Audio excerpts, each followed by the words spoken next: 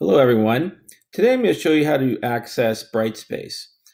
Teachers use Brightspace for e-learning or for blended learning or for creating a class website. So typically you'll get a login letter that will um, say one of the following e-learning or blended learning or class website, and it will identify in it an area on how to log in. So this says clearly to log in, go to this space. So you click on this link.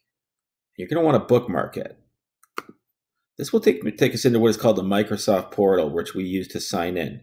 There'll be a line for you to type in your credentials. This is already auto-saved, so I'm going to click on this account and enter my password. And it will then take me into Brightspace D2L, which can be used for e-learning, blended learning, or class website.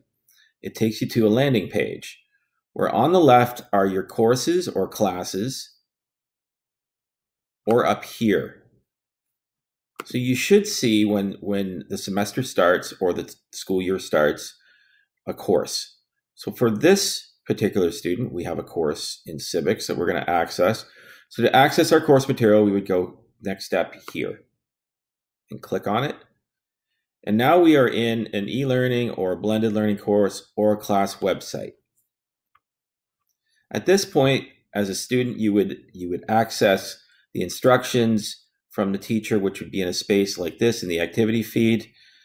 It will identify some due dates, and you're going to want to link up your Google Apps account and your Microsoft account. We'll give you some instructions on that at a later date.